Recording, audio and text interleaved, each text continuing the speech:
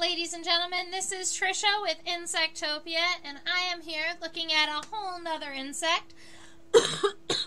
Um, we are looking at what we call a primitive weevil. Now, um, many of you out there, if you are hanging out with me or if you've been with me in the past, you likely know what a weevil is, right? Weevils are just, um, they're a family of beetle. They generally have long snouts up, up along the front of their head. Let me turn that volume down a moment.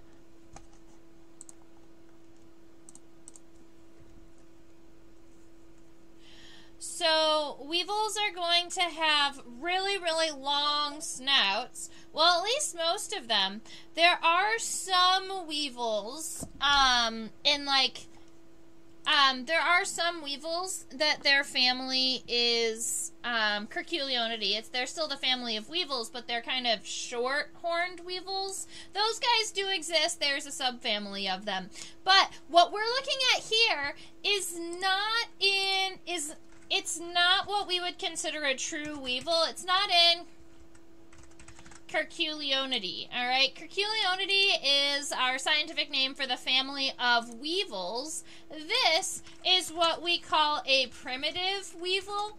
And the family on this one is different. This is a Brentidae. All right. Um, when we are looking at the differences in between a brentid or a primitive weevil versus a curculionid or um, a common weevil, um, we're looking at the antenna. So the average weevil, all of the curculionids, they're going to have elbowed antenna here, and brentids are going to have straight antenna. So that's a pretty easy way to tell them apart. Um, so if you see a beetle with a long snout, you can say, okay, it is in, oh, this is a new one for us.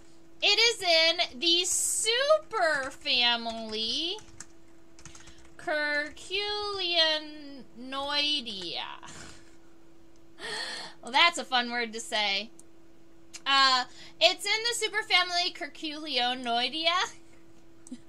um, and that means that it is either in the family Curculionidae or Brentidae. See, these families are closely related, but they are not the same. And so, at least in beetles, we not only have order, family, tribe, genus, species, we have order, superfamily, family, subfamily, uh, tribe, genus, species. And the superfamily that Brentids are in is Curculionoidea. Um, so uh, it just means that it's that that those two families are linked, and they both have that long snout-like part. And then when you want to go further and actually identify it to family, you're gonna have Brentidae. Now, I haven't identified this specimen further than Brentid, um, but I also haven't tried very hard. So it's definitely possible that um, we could identify this one. I bet you that it's in the subfamily Brentinae because that's one of the larger subfamilies. And to me, it looks like, all right, maybe in the tribe Brentinae. I'm looking at um, I'm referencing some images on Bug Guide to see if I can maybe find our to maybe find our friend here. Um, see this weevil, okay. All right. Hmm.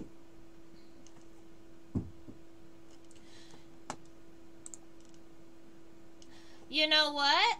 It may be the oak timberworm, Arrhenodes minutus. Let me go ahead and look up info for this one. Now, normally I do not like to normally I don't like to um, identify specimens just based on pictures. Picture IDing isn't very great. Um, but this one does have a fairly unique shape, and I do believe that when we zoom in on the um, on the elytra, there is going to be some speckling or spotting in those regions. So this one also looks fairly um, widespread across the east. Now, this says that generally they're found underneath um, the bark of fallen oak tree oak trees. Um, and admittedly, uh, I think that um, this specimen I collected in the car, which is really funny. So it likely came into my black light and then it got wrapped up with my sheet, is my guess. And these guys do come into lights. So um, if I was to take a long shot and and pick a species for this friend, I would probably call it Arrhenodes um, Arrhenodes minutus or the oak timberworm. Um, but that would just be most. That's like uh, that's I guess um best guess scenario based on pictures, and then we um, but I definitely know it's a Brentid or that um the Brentid. So let's see. I'm gonna write oak timberworm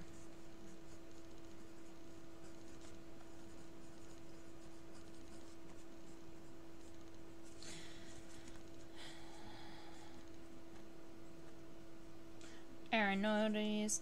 And then we're going to be able to, um, we're going to be able to measure our specimen so that we can see exactly how long he is. And then we're just going to start sketching him together. I'm pretty excited about zooming in and checking him out.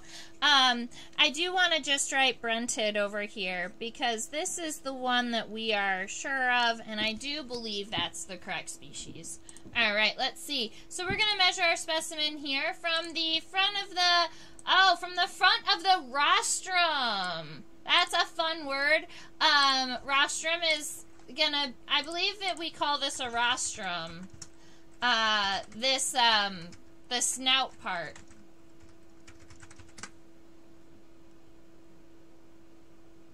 Yes. So this um this snout is what we call the rostrum. So if I was measuring from the front of the rostrum all the way to the back of the elytra, this specimen is 1.28 centimeters long. So it's not a very large specimen, and now that we have our measurement, we're going to be able to um, zoom in. And the lighting will be better once we've zoomed in.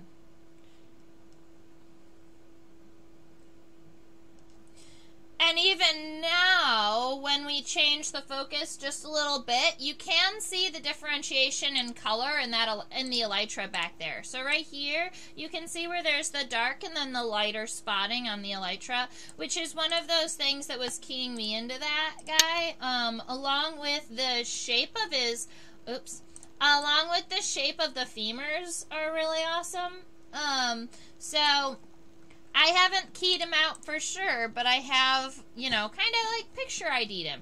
Now, let's see. I'm going to start by rotating my paper sideways. He's a nice long beetle, so I want to make sure I've got enough space for him and his snout.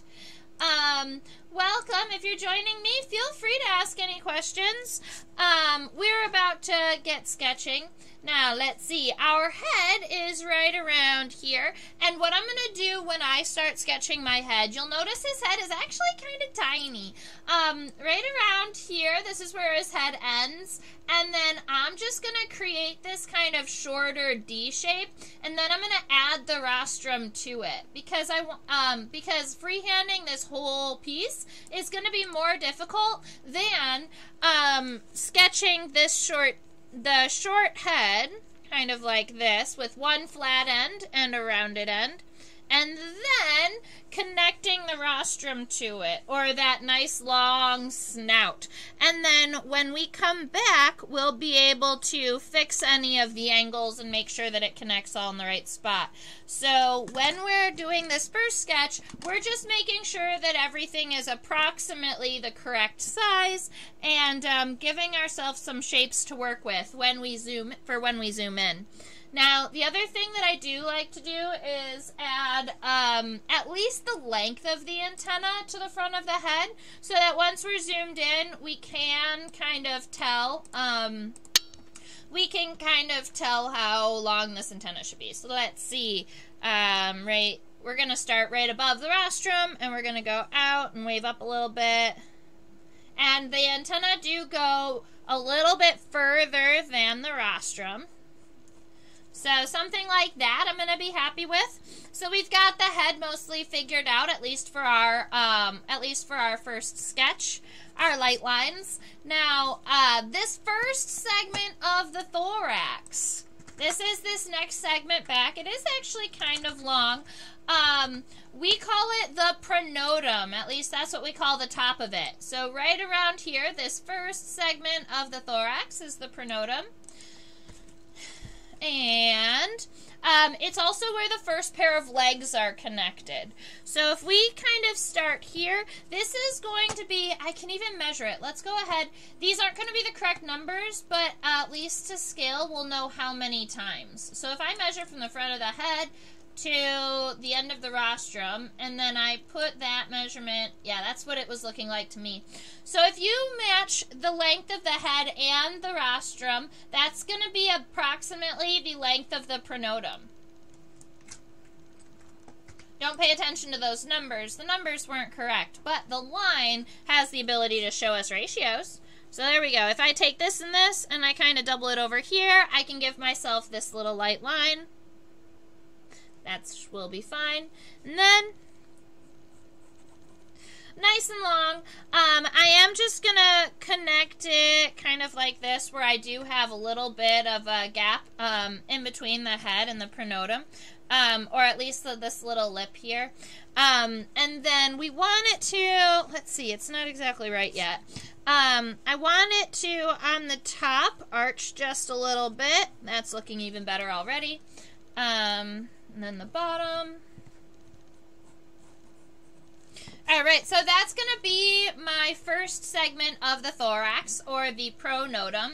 Um, I'm going to go ahead and, and um, give myself some stick legs, so I know right about where the legs are going to be connected. It's right around here, right? So um, if I take my legs, they're probably going to come out forward like this, and then come down, and then out. And he's got some pretty kind of shorter legs. So don't make them too uh, too incredibly long. Now, um, this next segment, what looks like the rest of the body, is actually the thorax and the abdomen. If I scooch it all the way back here, what you're looking at on the top are the wings. And all wings of the four wings, or the front wings of beetles, are what we call elytra. So these are the elytra here, and um, when we zoom in, you're going to be able to tell that they they do have um, is that they do have these uh, these lighter spots. Oh no, I'm out of tea though. Oh no, Marley, you can go and get tea. I'm sure that you'll be able to catch up. We're just in the very very beginning of the of the sketchy phase. All right, so I want to kind of compare the length of my head, rostrum, and pronotum to the length of the elytra, because I'm wondering if we can just double the insect's body size again. So I'm just going to scooch it back a little bit so we can get this guy refocused so we can see the whole specimen. And I'm thinking if I measure from the end of the pronotum to the end of the rostrum, and then I put this line over top of the elytra. Oh man, look at that. All right, so we are pretty much the elytra, if it's not exactly the length of the pronotum head and rostrum, it might be just an itty itty bit shorter. But it's negligible. You can pretty much double your specimen size. So, um, if you're if you're sketching with a grid or um, a ruler, um, you'll actually be able to just count from here to here and kind of multiply it. I'm gonna go ahead and eyeball it on my paper. So I've got the end of the rostrum to the end of the pronotum, and I'm gonna make sure that that scooches over. And you know what? I believe we're gonna be going to the very end of my paper again, but we will have enough space to do the whole thing, I believe. So the elytra is going to come up a little bit. It's going to project up a little bit off of that pronotum. And then they're going to be mostly a, a straight horizontal line until you get to the very end when it starts to slant down um, and round out.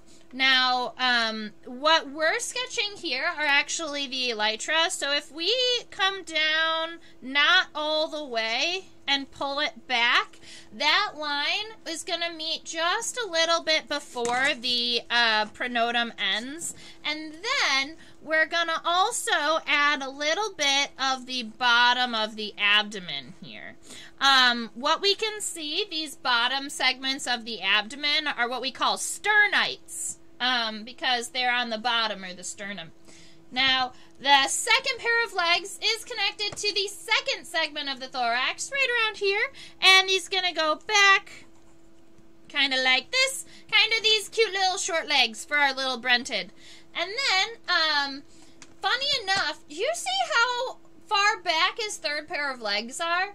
Um, these are still on the thorax. So this beetle just has a super duper itty bitty short abdomen. Um, so let's see. If that's my th- second thoracic segment, looks like probably this is going to be my third thoracic segment.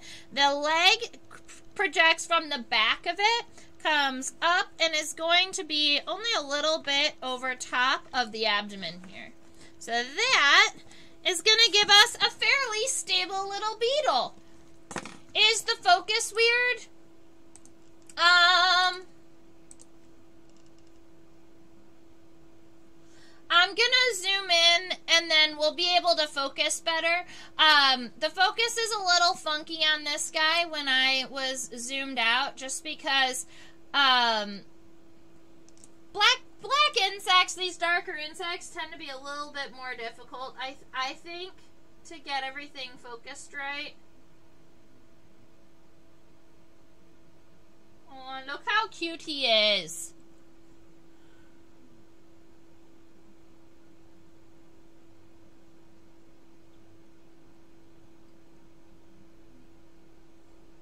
I was really hoping to get the head and the antenna all into one shot so that we could do it all at the same time. Let's see if the focus is going to work. Or if we're going to have to zoom in further. Eh, this might work. Let me know, um... Yeah, it's, it's kind of a reflection thing. Um, you've never heard of this family...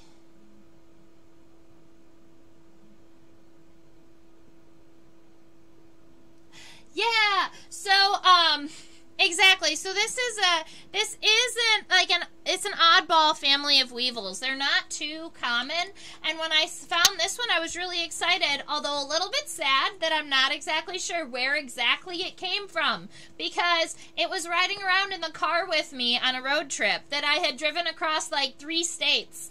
And so I'm not sure exactly which state I picked it up in. And I was blacklighting every night. So these guys do come to lights at night. Um, I'm just not sure which night it came. So I have the date and um, EX on my label standing for like where exactly I collected it. Um, EX in the car. that made me laugh. All right. So let's see. Now that we have, um, now that we're nice and zoomed in, we're gonna be able to kind of round off these um, these spaces here because I had originally um, just given myself this kind of D shape and then added the rostrum to it. Oh, I haven't spelled rostrum for you, and I think this is a new one for these beetles. So there you go. Um, and I'm going to get my sketch a little closer to the camera so that we can see better. Aha! Much better. All right, so here we are with our head and our rostrum and where our antennae are going to be connected. And all I want to do is kind of connect this rostrum evenly to my head here. So I'm going to come down something like this and then like this. And I'm going to erase all of these inside lines.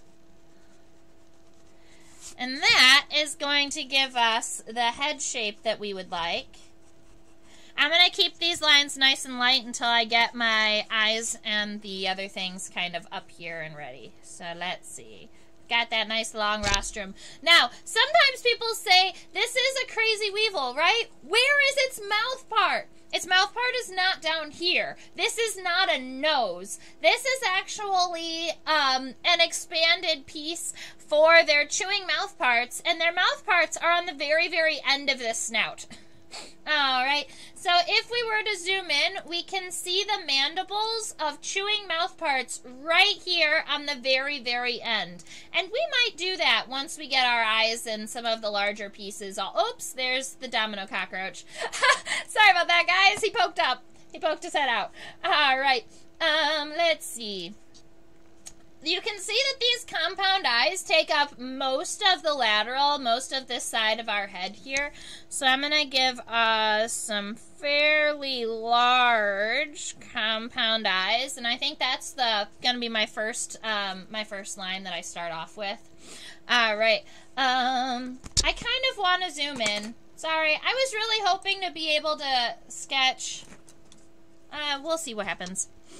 All right, so I'm going to start off with these lines right here. I'm pretty happy how um, how my head and kind of the bottom of this snout looks. So that's where I'm going to start, especially because that top part is going to include my antenna. So this will give me a basis.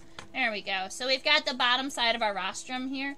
And then we're coming down this way. Now, funny enough, the rostrum is this like expanded part, and you'll see that there's this little bit of a uh, of a wraparound.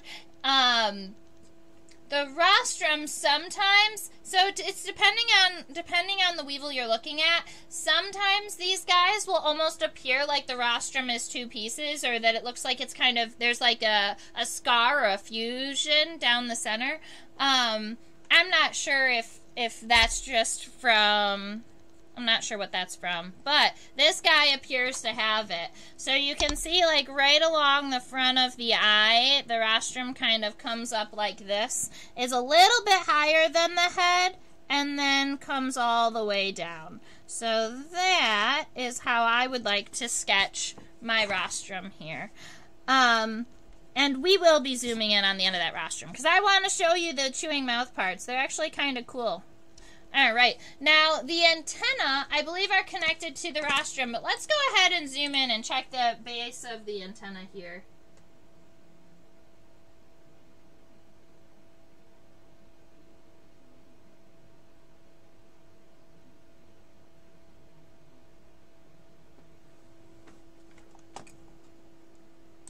All right.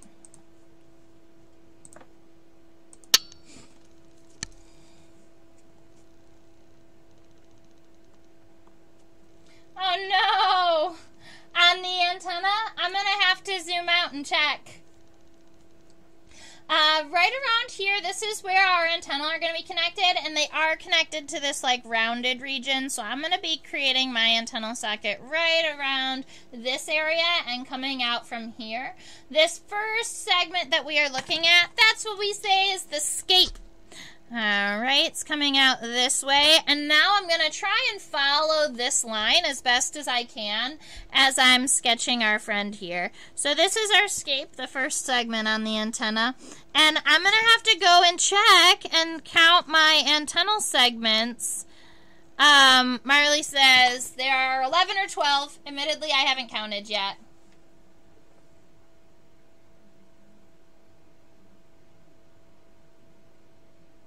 They kind of wrap around each other funny enough. So, um, I'm gonna, it's probably gonna be easier for me to count looking through the microscope. Let's see. Uh, 1, 2, 3, 4, 5, 6, 7, 8, 9, 10. There are 11. Uh, 1, 2, 3, 4, 5, 6, 7, 8, 9, 10, 11. Yep. Marley, you're going to have to take one of those off. But, you know, oh, I hope you're not drawing with a pen. Don't mind those. Alrighty. Um, so, here we are.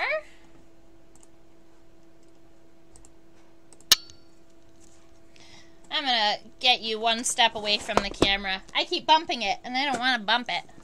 There we go. Alright, so from after after the scape, we have the pedestal that looks a lot like the flagellum segments, And then we have, so this is one, two, three, four, five, six, seven, eight, nine kind of roundy segments. And the last segment, segment 11, looks like one of our raindrop shapes. So let's see. One, two. Yeah, this is okay. Three, four,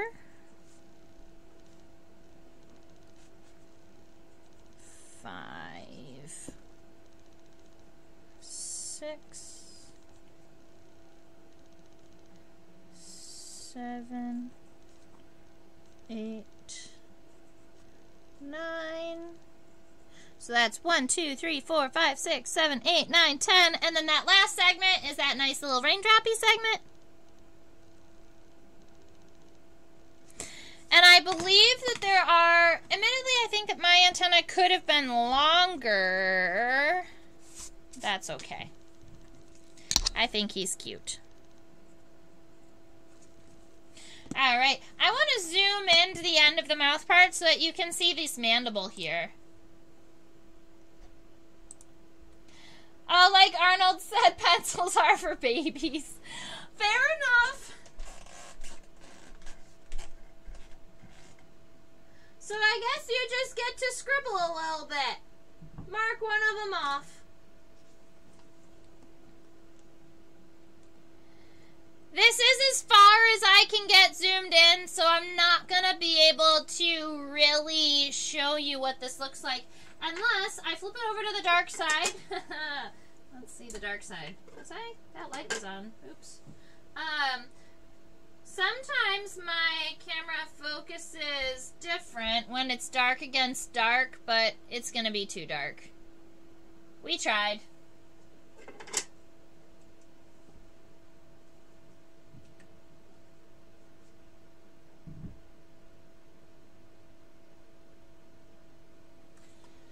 Alright, so, um, I'm just gonna have to describe it to you. Right here at the end, there is this little triangular segment. Um, and it's like a little mandible. And what you're seeing from this side is one mandible going away from you, and then what looks like that kind of ridged thing is the mandible coming back up at us. So you can see both of them. They've got these little chewing mouth parts way up here at the end of the rostrum. Um, I also believe we have sensory hairs off of the edges of these antennal segments, and I like to give, um, especially these sensory hairs on the bottom, I like to give them a little shout out. So I'm going to go ahead and throw some hairs in here. And crosshatch in my eye so that it looks compound. And I think we're doing something. Can I Google image search it? Yes. I believe the species that we are looking at is Arrhenodes minutus. Um, it's the oak timber worm.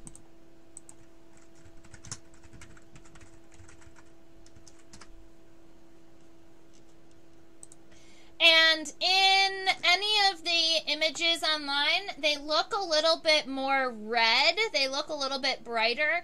But I j- think that that's just what he used to look like. And he may have dark, darkened a little bit over time. Um, we are looking at a specimen that's at least two years old. So it's possible that he's darkened just a little bit. Plus, um, I believe if we look close enough, we're going to see some uh, colors um, and spots on the elytra.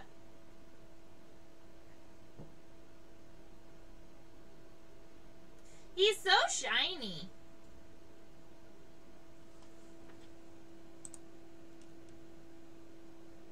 And you can see, even from this view, he looks a little bit red.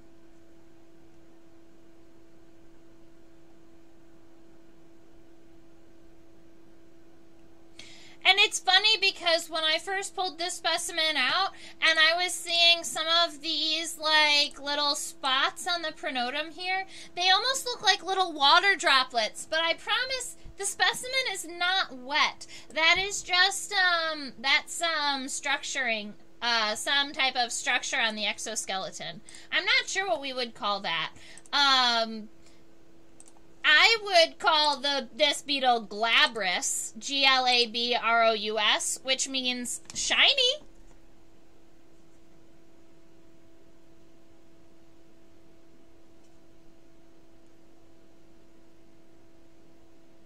Online, some look like a mimic with big mandibles like a tiger beetle.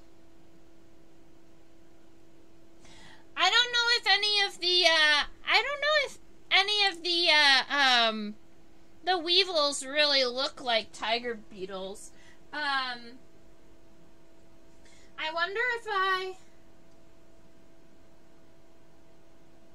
no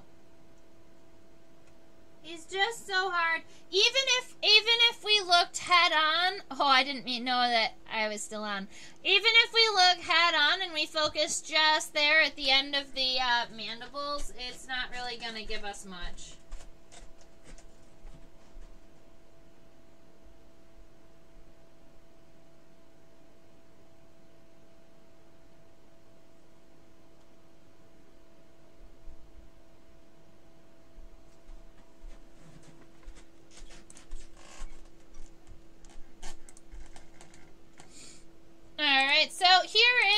next segment. The name of your firstborn son. Oh, that's funny. Have huge mandibles. Let me go look.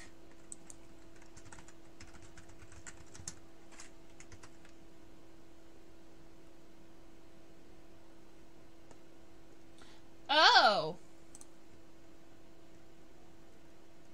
Whoa.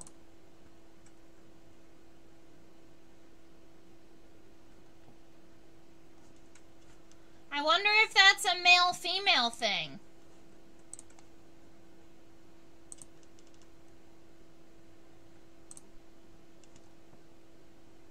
Oh, that's horrifying. That totally is what this is.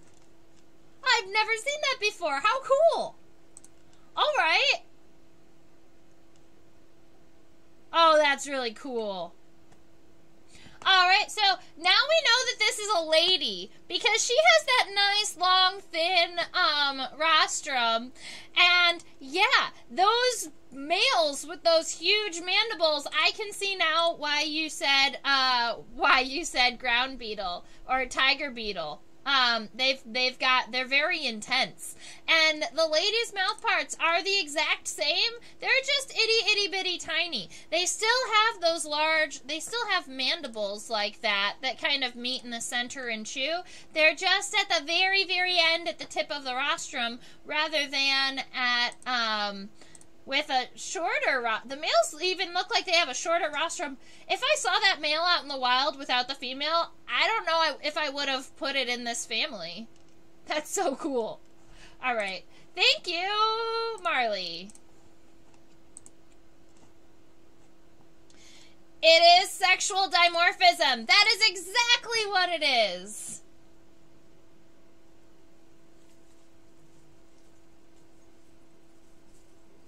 Could it be a mimic? Um, I'm not sure what it would be mimicking. I mean, it definitely could be a mimic, right? Um, I'm not here to say, no, it's definitely not a mimic, but it is sexual dimorphism, where you've got the differences between the males and the females. And I only have a female, so I don't even have a male to look at under my microscope, and it makes me want to set up more black lights around oaks and see if I can find one. Um, so something that I'm noticing about our pronotum here is that we do have this, um, we do have this extra sclerite here. So we've got a line here that almost makes our beetle look like he's got a little bit of a neck before the pronotum. I'm not sure what this segment would be called. Um, I don't know if we would ever even refer to it, but we are going to sketch it. So um, the angle comes this way on our head, and then we're just going to round out this little bit of a neck part with it nice and short up at the top of the head and then a little wider at the bottom. That's also going to give us like that upward facing head type look. All right, very good. Now, um, from here, we're going to be adding our pronotum. I'm pretty happy with this arch here, so I'm just going to go ahead and pick that middle line and throw it on here. Now, um, from here,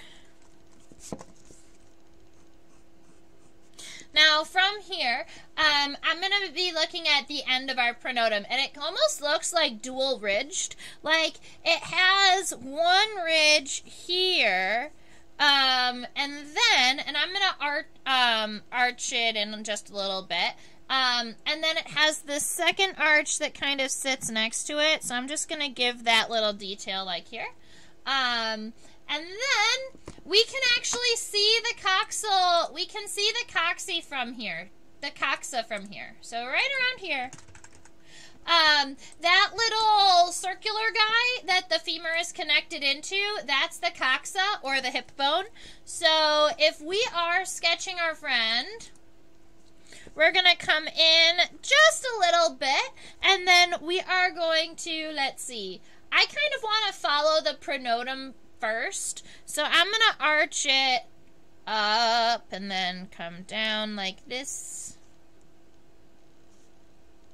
Okay, and then I'm going to add our coxa, which is going to be rounded, kind of like these.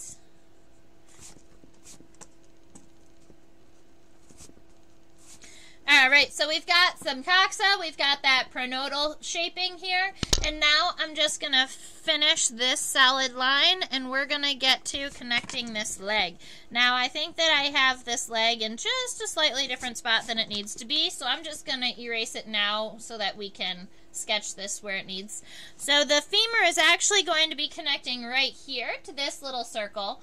And um, it starts, look how fun the femur is. It, it's so narrow and then it comes out, it reminds me of a chicken leg. um, it comes out and it gets really bulbous, and then at the knee it gets narrow again. So if we're looking at him here, he's gonna start kind of narrow and then kind of widen out. And it does look like it, it's bulbous, not just on one side, but kind of on both sides. Oh man. Let's see if we can get this right. And then he has this kind of that knee shape that makes him makes it get a little bit more narrow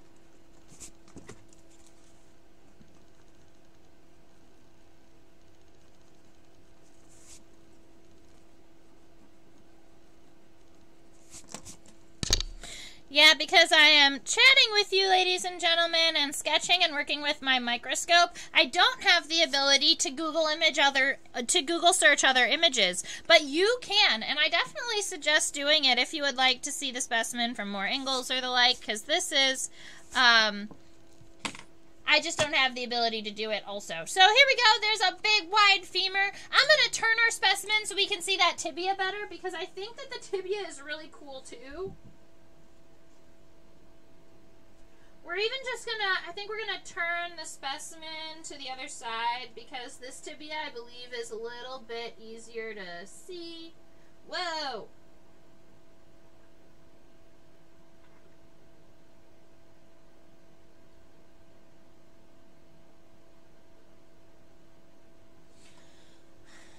Okay, so the femur, where, oh, look at those beautiful golden hairs. All right, so we are almost to a point where the entire thing can be on one plane, but we are not quite there. So I'm going to kind of split the focus a little bit and leave it right around here. Um, now that we are zoomed in and looking at it from this angle, you can see that right around here where the inside of the femur comes in, there is actually a little spine, um, a little, um, projection. I want to call it a spine. There's a little spine here. He's so cute. All right. Now, the tibia also has this very unique shape where the front end, let's see, is S has a has a little bit of an S curve And then the back side, um, it does have a two pronged, um, it's kind of like two pronged down here at the bottom. You see how it comes, it gets wider at this portion, and then it comes down and it has this point here. It has that same point on the other side. So it's almost, it's almost kind of shaped like, like this. Um, but you can only see one from when from when we're sketching it from a lateral point of view. So uh, we've got that little arch shape on the tibia, and then on the inside, it appears to have right here in the center. It kind of comes out. And funny enough, I do believe that this little I don't know what to call it, the flange here, the the tibia is not like flat across like this. It's more curved like this. And so when the beetle um pulls his leg in and he's got this femur here and the tibia that's kind of curved. The tibia actually surrounds or encircles the femur just a little bit. Um, and that's why, and that's where you can see the, um, those two little, uh, the end of the tibia would kind of encircle the femur when it closed.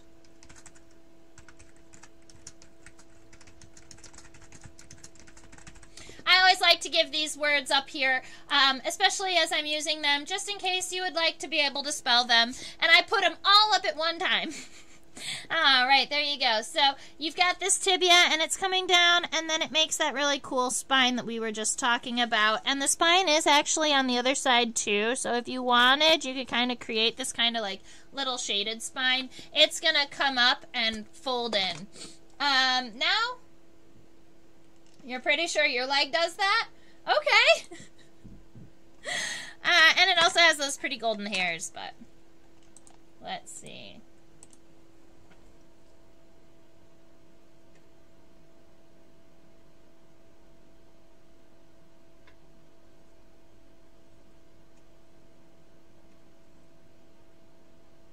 One, two, one, two, three, four, five. This is one of those apparently 444 beetles, I believe. Actually 555. Uh... I'm going to double check that for you right now.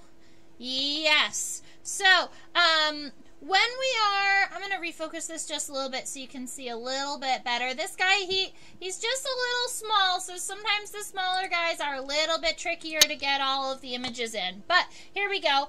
Um, the first three tarsal segments. One two three um, well, we're going to go two. These first two tarsal segments are short and rectangular.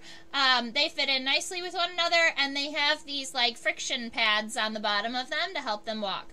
This third segment here, it looks just like a basic rectangular segment, but if you were to look at it from above, it, it looks like this. It's kind of heart shaped. The fourth segment is really itty bitty tiny, but from this angle we can actually see it. It's right here. It's this little piece, and it's almost like a little segment that's coming out from in between. So if this was tarsal segment three, tarsal segment four kind of comes up in between those two pieces and just ends really short. And then five is this nice, nice long one with the claws.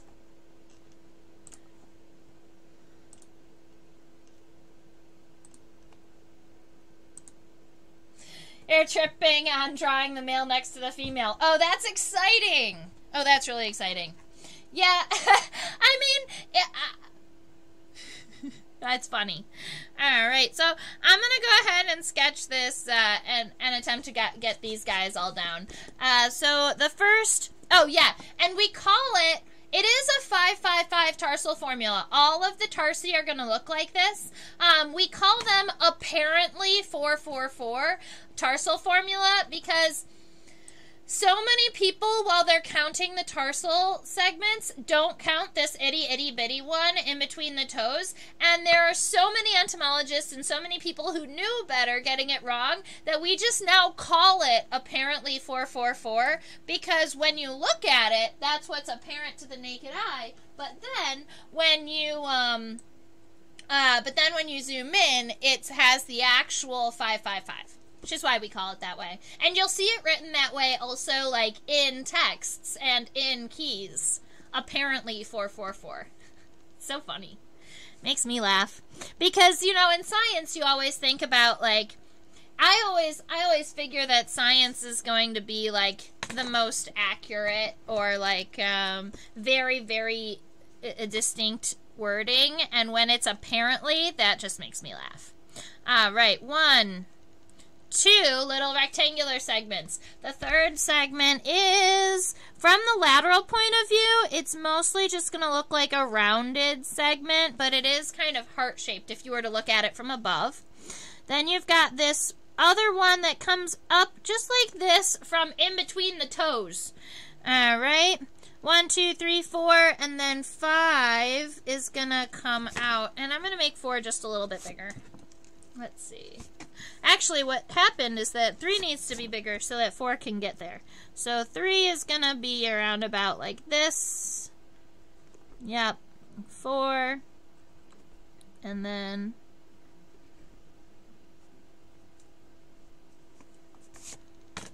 five.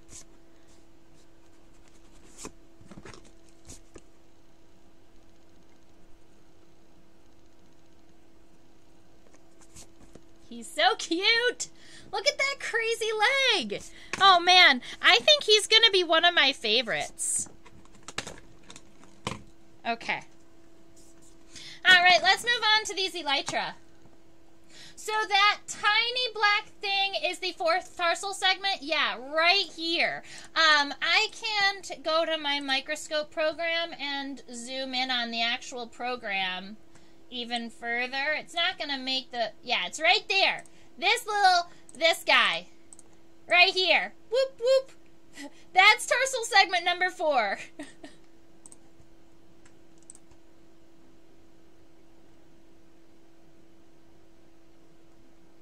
All right.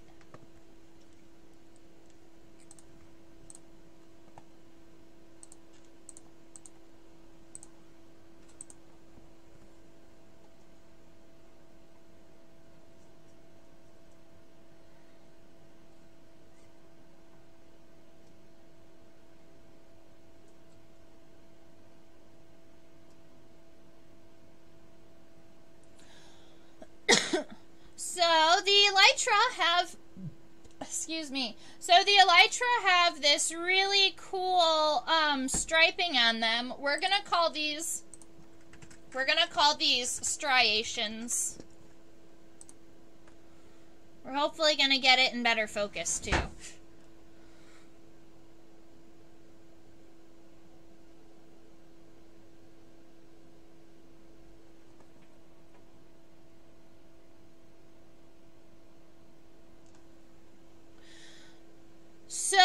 the specimen became it just an bit injured from actually pinning it. So if you were curious about what's going on, um, if you're curious about what's going on right around here where this black piece is coming out, that's a little bit of the exoskeleton that got pushed away when the pin was going through. And that's something that happens sometimes and it's not really easy to like fix or anything. So we just leave it kind of the way it is. But naturally, this is going to be a very flat, rounded space. That is only there because the pin pushed through the exoskeleton. Um, that's the same with right around here. There's a little bit of like a jut up, but that's fine. Um, and now that we have a little bit better focus, you can see the very, um, um, the very, uh, I guess, I want to say the gentle differentiations in color. It's not the um, the there those light coloration changes. I believe that the darker areas, those blacker areas used to be more red and those lighter spots used to be brighter. So I think the whole thing used to be just a little bit brighter. But we got this happening.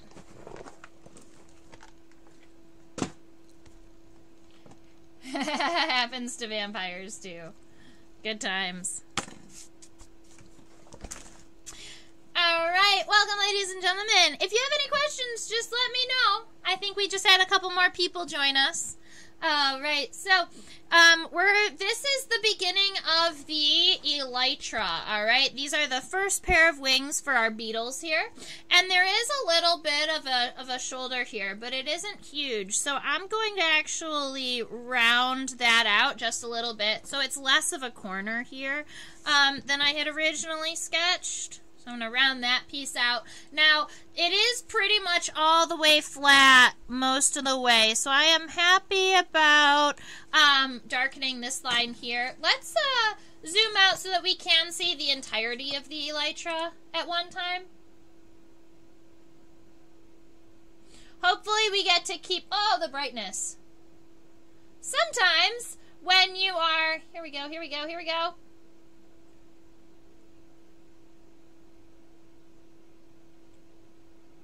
There. Perfect. Oh.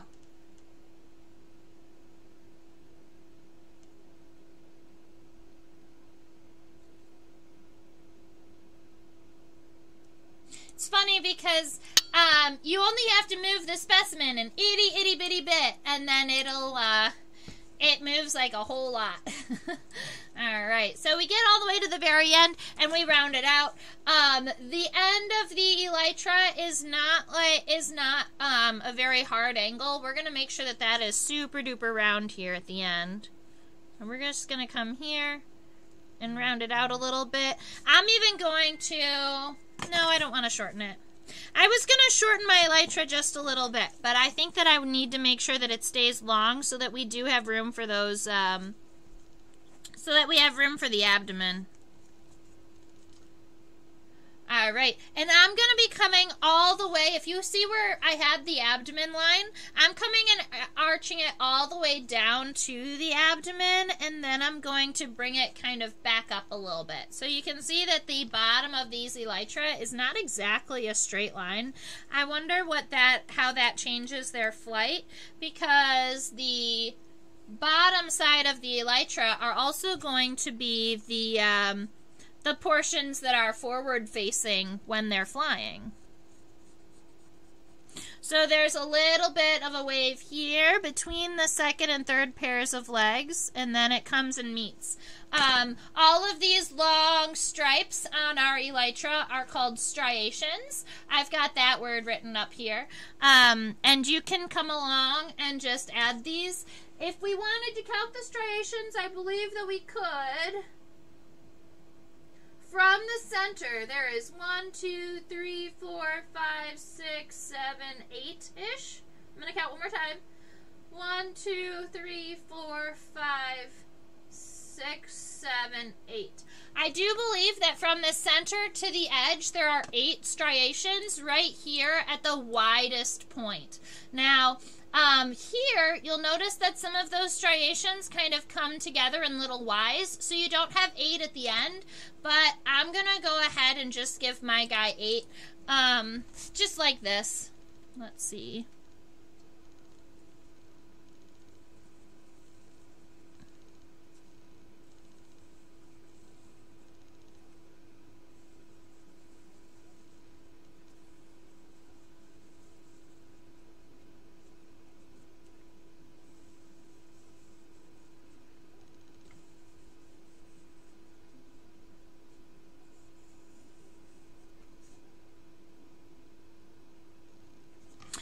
right, so something along those lines we've got these long striping patterns, and then if you really wanted to get into it, you could always go ahead and, and color in those, um, those splotches.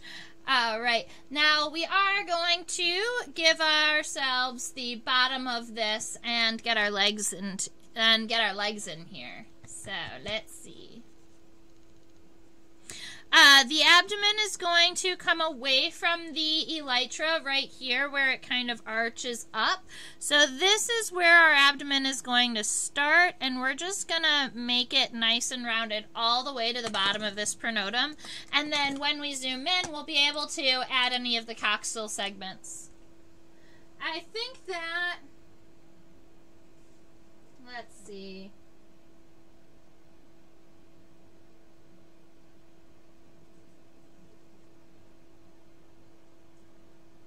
We go.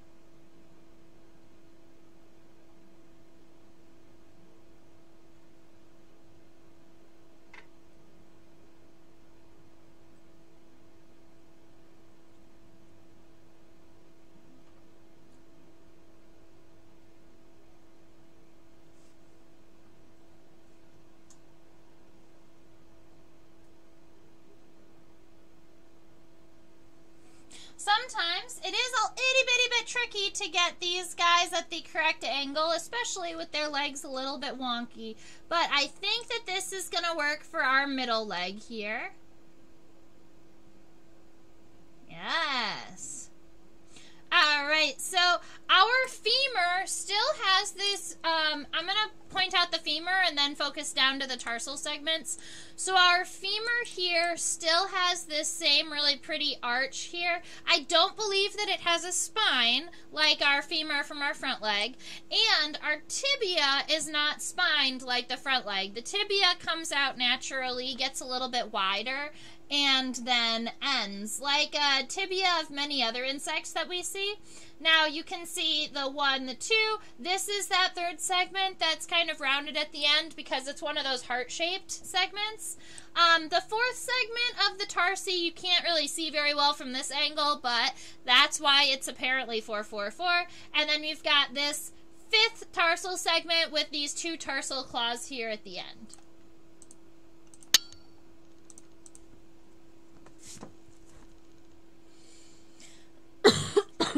All right, so I'm gonna just uh, give myself a, a little bit of a coxal segment uh, here. So I'm just gonna take a little guy and kind of round him out here, and that's where I'm gonna be connecting my femur to. It just gives the it just gives a little bit of uh, distinction. Yeah, very good. Okay. So our femur starts nice and narrow, comes out and gets kind of wide.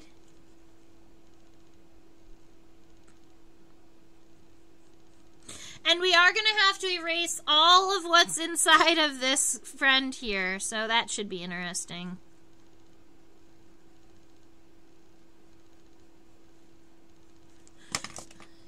Give me a minute as we figure as I figure out the shape. I'm going to erase some of this in here so that I can see it a little bit better. Maybe what we need to do is refocus so that we can see the femur. Yeah, this is going to help me.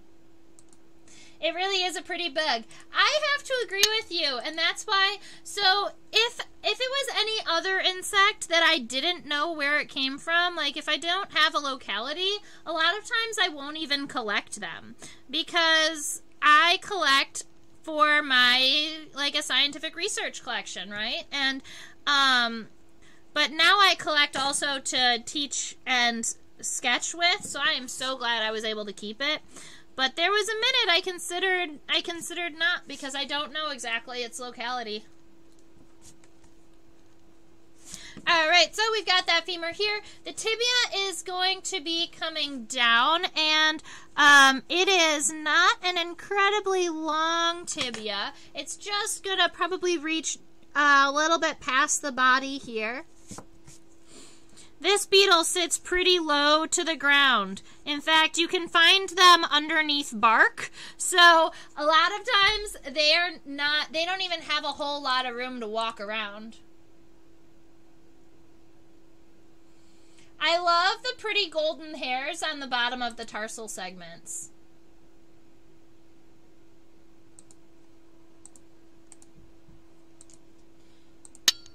Ugh. No, don't go that far. I just wanted it. There. That's what I get for touching it. That's good.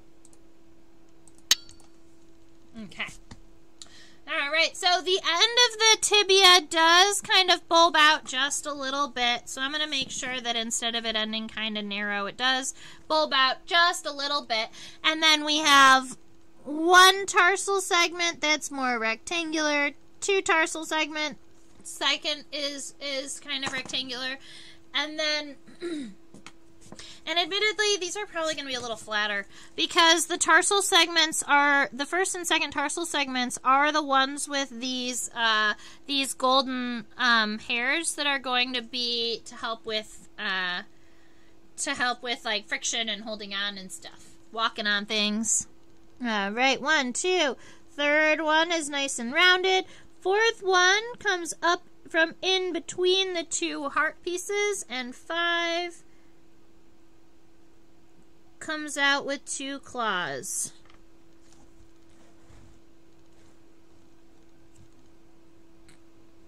Oh, he's so cute.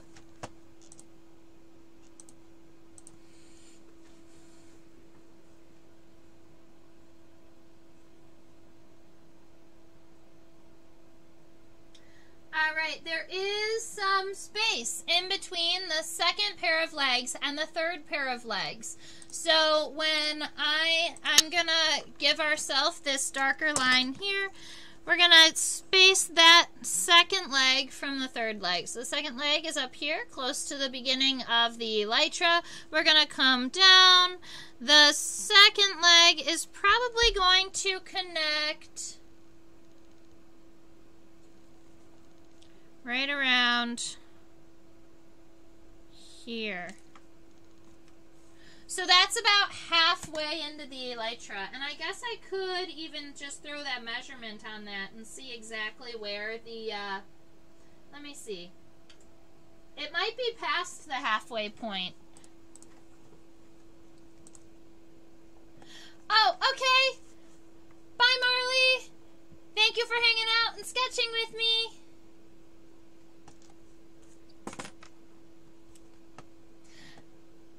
Oh, that would be awesome.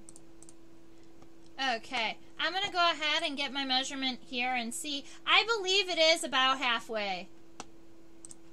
So from the elytra to about where the uh, the where the hind leg starts, and then the hind leg.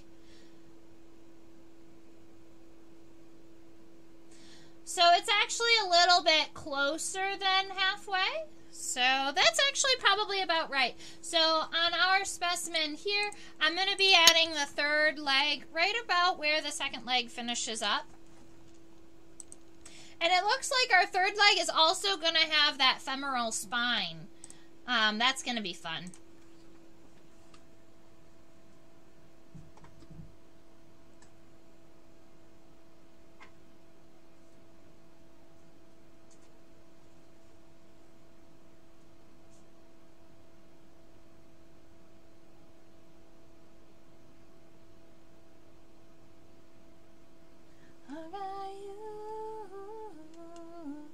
For the rest of my days. So this is a really cool image of those tarsal segments because you can see how that heart-shaped one really works. That you can see both the sides and how that um, that little one comes kind of out between the toes. But I was really hoping to also show this femur.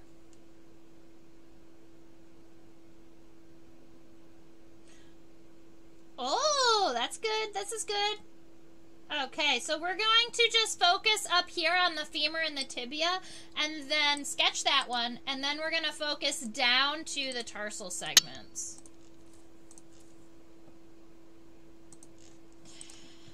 Alright, so right around here, this is where our hind coxa starts.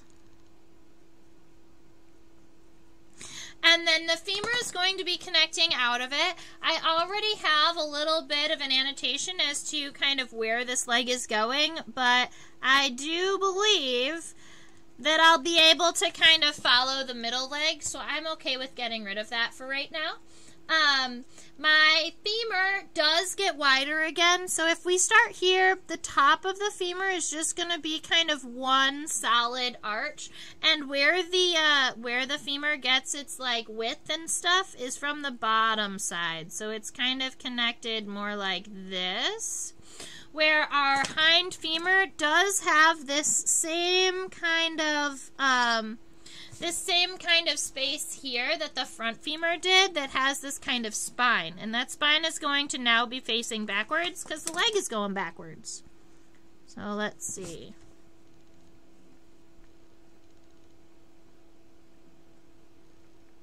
Like that.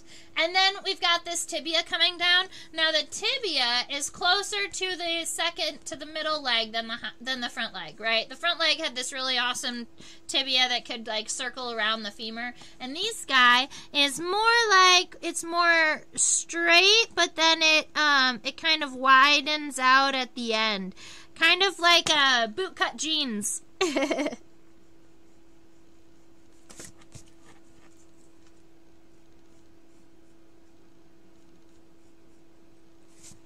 All right, so we've got that taken care of.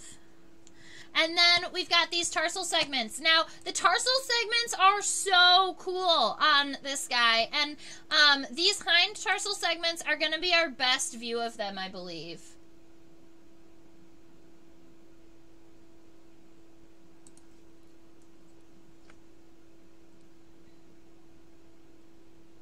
There we go. So you can see one and two are these rectangular, or I guess from this angle they could look very triangular. And then three is that heart-shaped. Four is the little itty bitty nub coming out from the center. And five is the long one with the claws. Hi, Dr. Victor. No problem. Thank you for spending time with us today. I love hearing from new voices.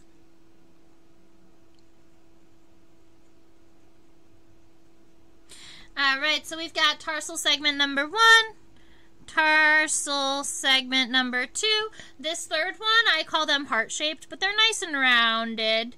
And they have this um, section that kind of surrounds this tarsal segment number four that everyone just tends to forget about, which is why we call these apparently 444 rather than just calling them 555 as a tarsal formula. That just always makes me laugh. I need to get better at these guys, though. This is going to be all right. So, uh, we've got the first two segments. We've got the third segment coming out like this, nice and rounded. The fourth one, short, and then this fifth one comes out, and it's got these claws on them.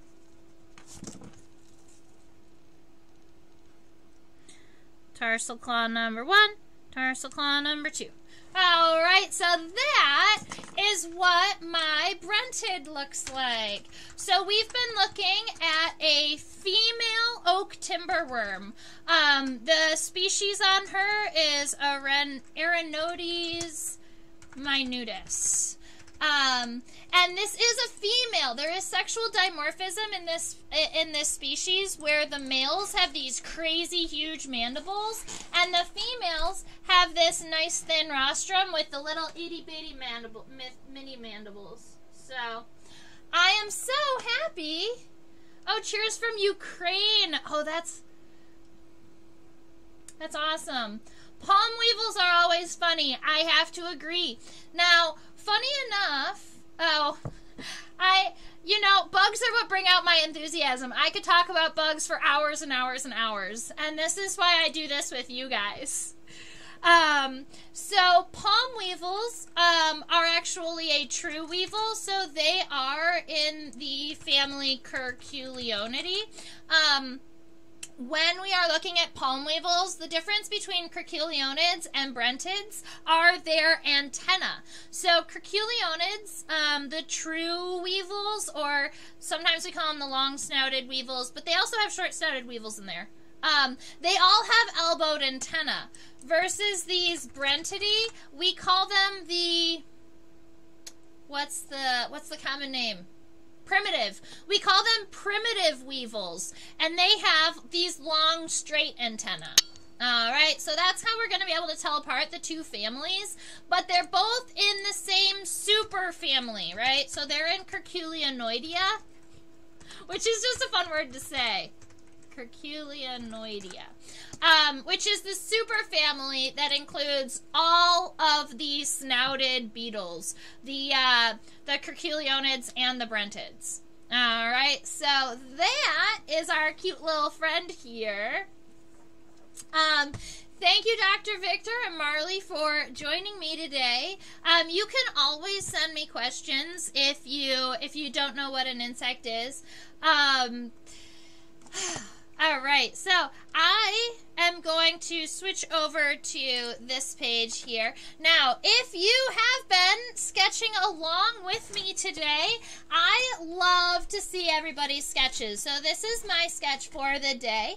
Um, you've got that nice long rostrum, the long antenna. I was absolutely loving the uh, the shaping on the legs, especially on the femurs here.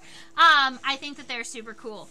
Um, now, if you know anybody in the ages of 5 to 8, 9 to 12 who really like insects, I also do uh, classes for students on a platform called OutSchool. I have my link in my description box. Um, here are some notes from a previous class. That is when we were talking about the green bottlefly. So we talk about their life cycle. Um, we were talking about how they taste with their feet and how they eat, um, and the way that you tell apart the different instars of maggots. Um, so this is just something that I do with the kids, and I absolutely love it. Um, thank you for subscribing. Anybody who has been commenting and chatting with me in the chat box, I know you have subscribed because that's a requirement to chat with me.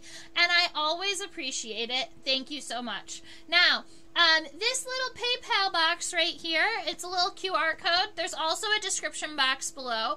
Um, that's just in case you've had a great time today and you wanted to, you know, buy me a cup of coffee or send me a couple dollars to help support um, keeping my collection alive. It gives me that those funds give me the ability to travel uh, to collect more bugs. They also give me the ability to buy pinning collection pinning supplies, um, pins and styrofoam and boxes and drawers. Um, I love keeping my collection nice and organized. Um, and here, why don't I have my silk moth sitting next to me, and I love showing them off. So check this out. These are just a whole bunch of silk moths. There's the Polyphemus, or over here. There's the Polyphemus, and then the Imperial moths. We've got a Luna moth and a little Io moth. I love them. Um, and I had pulled them out for some students, and so I'm going to have to put them back shortly. Um, but I really appreciate you joining me today. This is my email address. It's trisha at theinsectopia.com. And if you did sketch with me today, or you have a question, or you see a really cool bug anywhere in the world and you want to know what it is, I would love to help you identify it. Now, I'm not from um, I haven't, I have not traveled overseas yet, but I can definitely get insects down to family. I may not be able to identify your buggies all the way to species, but I can try. And I do know a good number of um, other entomologists too. So if I get stuck on a buggy, I have people that I can ask. So I, uh, I really appreciate everybody hanging out with me today, learning a little bit about brentids and being able to sketch them along with me. I love the sexual dimorphism in this species and I didn't know that it existed until today. And we started looking up the pictures of the males online. I figured I didn't know there was sexual dimorphism in the species, so that made me happy. Um, and I hope that there were things that you learned today that made you happy because that is my passion. I like to teach people about the crazy things about insects that you may not realize because something that I've always loved is the fact that insects are itty, itty, itty bitty tiny, but they have such an impact on the planet and they are so diverse. And the minute that you get an insect underneath the microscope, I believe that you gain a better appreciation not only for insects but for our planet because these things exist all all over, and I love it. So, um, I am, uh, I'm, I'm sending uh, I'm sending positive vibes over to Ukraine. I don't know what else I can do to help or support, but if there's anything, um, Dr. Victor, that uh, that I could do, uh, let me know because that's a that's a rough one over there, and um, and and you guys all have our thoughts and prayers. Okay, so I um I hope that you all have a wonderful rest of your week. If there is anything that I can do, always let me know. My hashtag on Instagram, if you ever share posts on there, is at Insectopia 2015. Um, I add the 2015 because that is when I um, was when I established Insectopia and started posting YouTube videos. We've been doing this for a little bit of time, but um, the live streaming has been about a year and a half. So, um, thank you, ladies and gentlemen. I hope you all have a wonderful rest of your week. We will be live streaming again Thursday at 10 p.m. Eastern, or next week on Sunday at 4 p.m. Eastern. Um, I look forward to seeing you all there, and have a wonderful week, and stay buggy. Bye.